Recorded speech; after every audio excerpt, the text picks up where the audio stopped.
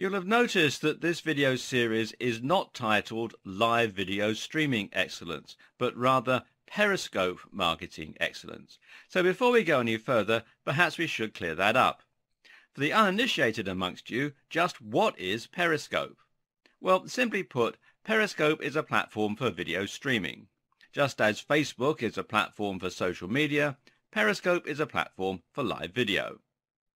Why did we choose Periscope to focus on for this video series? Well, simple.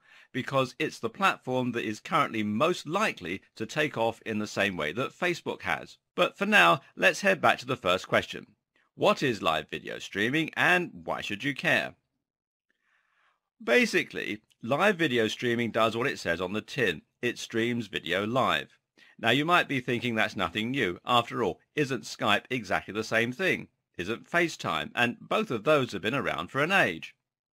Well, simple. The answer is yes, that's live streaming too. But what's different about Periscope is that it allows video to be streamed publicly. That means that anyone can tune in and start watching at any time. Additionally, they allow people to comment live, allowing the person filming to view and respond to the messages. Live streaming is a little like having your own television channel, except you only need a phone with one of the live streaming apps, such as Periscope, installed. From here, you then just point the phone and start shooting and can broadcast your message to as many people as are online to watch at any given time. When you use Periscope, you'll find that you're presented with a map of the world upon signing in.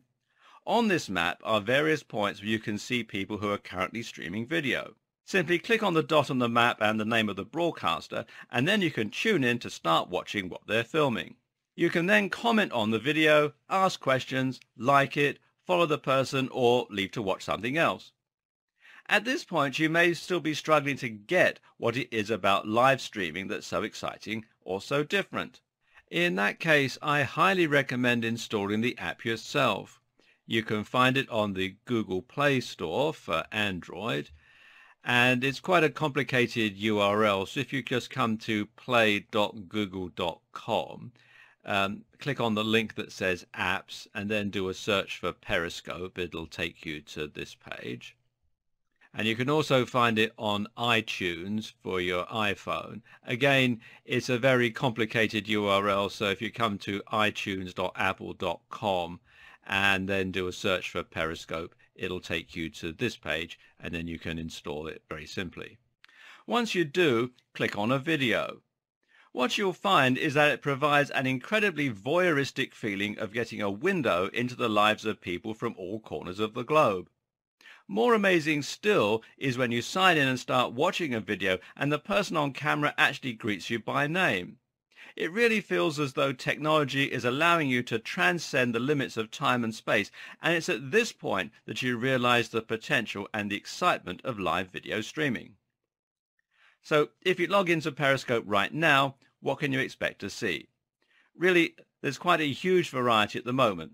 Common videos include people doing workouts while their phone films them, people chatting over a cup of coffee or a mug of tea on a particular topic, people lying in bed just staring into the camera, people cooking and talking through recipes, people talking randomly, people reading excerpts from books, people not doing anything and just letting their viewers watch them as they go about their lives, television presenters using Periscope to add more productivity, and a whole lot more.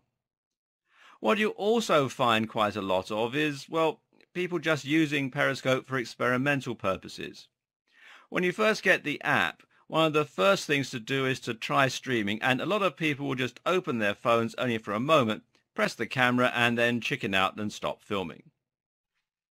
What's really exciting about live video streaming is the potential it offers for the future. Right now, Periscope is the most popular streaming app, but it still doesn't have floods of content. If you sign in right now, you'll likely find there are around 100 to 200 people recording content in the US.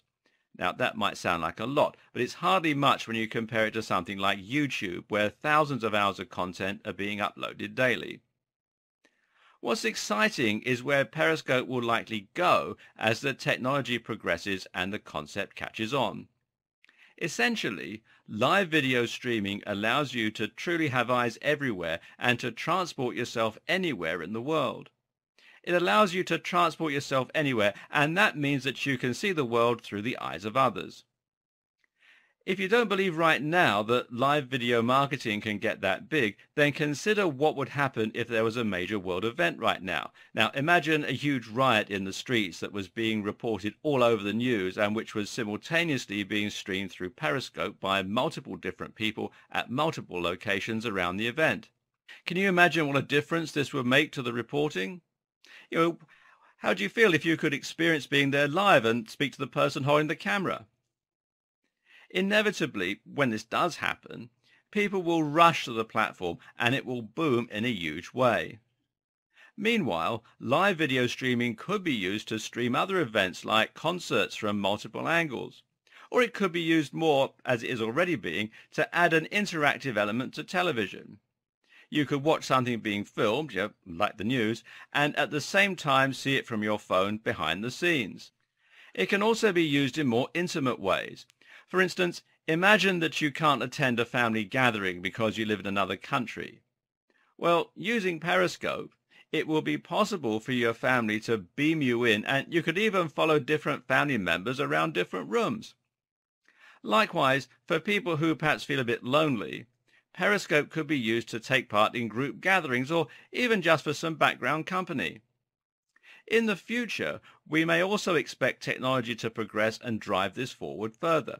For instance, it may one day be possible to see previews of the footage right in the thumbnails, you know, like hundreds of tiny windows to different parts of the world. Video fidelity will improve too, and so will the options that we have for capturing video. So imagine if something like Google Glass were to one day take off, allowing us to feed exactly what someone else is being fed straight to us anywhere in the world. And this is no pipe dream either. Live video streaming is still very new.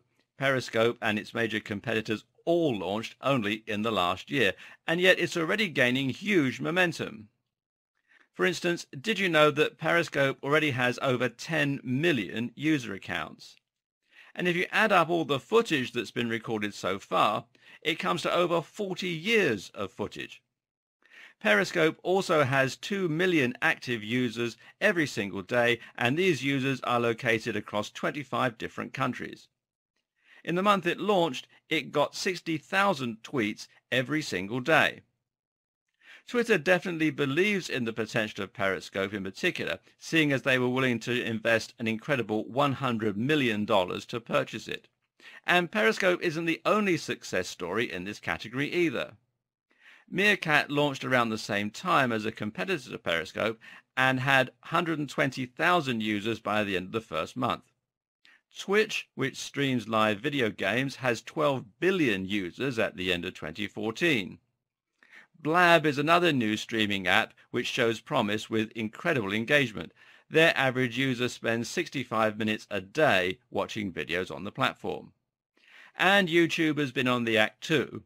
The company live streamed some events and the E3 event in 2015 managed to attract a gigantic 8 million viewers within just 12 hours. So in other words, this is massive news. People see the huge potential of live streaming and as such they're flocking to it. So should you be.